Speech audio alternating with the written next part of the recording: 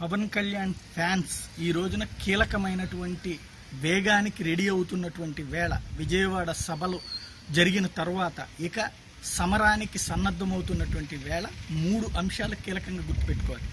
ఒకటి ఈరోజు ప్రత్యామ్నాయ రాజకీయంలో కీలకమైనటువంటి అంశం సమస్యలకి పరిష్కారాలు చూపెట్టడం. రెండవది దుర్భాషలాడేటువంటి ధోరణితో కూడినటువంటి రాజకీయం కాకుండా ఉండటం. మూడవది నిజాయితీతో కూడినటువంటి రాజకీయాన్ని అందించడం. పవన్ కళ్యాణ్ విషయంలో నిజాయితీతో కూడినటువంటి రాజకీయానికి ఎలాంటి ఇబ్బంది లేదు. ఆయన తప్పనిసరిగా నిజాయితీతో కూడినటువంటి నాయకుడుగానే గుర్తిస్తారు. ఎలాంటి కరప్టెడ్ అలవాటు లేదు. ఇంకొకటి పది మందికి సర్వీస్ చేయాలనేటువంటి ధోరణి ఉన్నది. రెచ్చ రెచ్చగొట్టేటువంటి ధోరణి కంటే ప్లాన్డ్గా మాట్లాడాలన్నటువంటి ధోరణి ఉంది. ఏదో ఒకటి సమాజానికి చేయాలన్నటువంటి ధోరణి ఉంది. ఈ విషయాల్లో పవన్ కళ్యాణ్కి ఆటోమేటిక్గా పాజిటివ్ ఓటింగే పడుతుంది. రెండవది నిర్మాణాత్మకమైనటువంటి రాజకీయం. అది ఈవేళ మనం ప్రస్తావిస్తున్న సమస్యలకి మనం చూపించే పరిష్కారం ఏంటి? అధికారంలోకి వస్తే ఎలాంటి పరిష్కారం చూపెడతాం? ప్రతిపక్షంలో ఉంటే ఎట్లాంటి పరిష్కారం చూపెడతాం? ఈ సమాధానంతో తెర మీదకి వెళ్తే ఆటోమేటిక్గా పబ్లిక్లో ఇమేజ్ పెరుగుతుంది ఉపయోగపడుతుంది.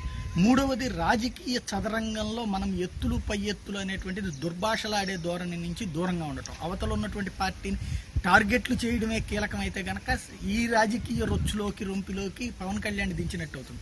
కాబట్టి అలా కాకుండా చూసుకోవాల్సినటువంటి బాధ్యత కూడా అభిమానులు కార్యకర్తల మీద ఇకపోతే తెలుగుదేశాన్ని వైఎస్ఆర్ కాంగ్రెస్ పార్టీను టార్గెట్ చేయడం అనేటువంటి తప్పదు. రాజకీయాల్లోకి దిగిన తర్వాత టార్గెట్ చేయకుండా ఎట్లుంటారు? అదే సమయంలో భారతీయ జనతా పార్టీ ఇక్కడ అందరికీ ప్రత్యర్థులుగా మీరు బరిలోకి దిగుతున్నప్పుడు మీ దగ్గర ఉన్నటువంటి బలం ఏంటి అన్నటువంటిది కరెక్ట్గా అంచనా వేసుకోవాలి? గ్రౌండ్ లెవెల్లో డివిజన్ స్థాయిలో ఎలా ఉంది. ఇంతకుముందు కూడా చిరంజీవికి ఇమేజ్ ఉంది. కానీ పల్లెల్లోకి ఆ చిరంజీవి రాజకీయపరమైనటువంటి పోటీ చేస్తున్నారన్నటువంటి ఫీలింగ్ క్రియేట్ కాలేకపోయింది. కాబట్టి ఇక్కడ ఇప్పుడు మనం సోషల్ మీడియా ద్వారా ఒక్కటి మాత్రమే మూవ్ అయితే సాధ్యం కాదు లేదా అప్పుడప్పుడు సభలు పెడితే సాధ్యం కాదు.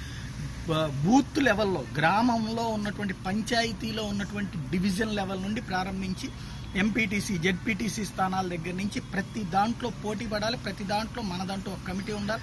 ఆ కమిటీకి ఒక కార్యాచరణ ఉండాలి ఆ స్థానిక సమస్యల మీద పోరాడేటువంటి తత్వం ఉండాలి ఆ పోరాడే వాళ్ళందరినీ పోగేయగలగాలి.